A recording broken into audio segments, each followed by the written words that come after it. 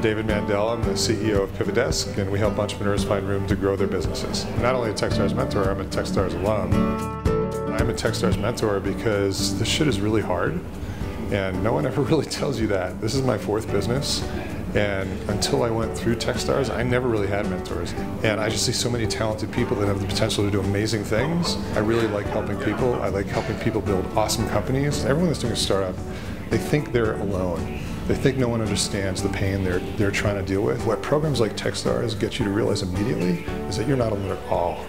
Everyone dealing with these issues has the same problems, the same challenges, maybe slightly differently, but all of a sudden you have this great network of people you can talk to about and understand ways to get through those problems and make better decisions.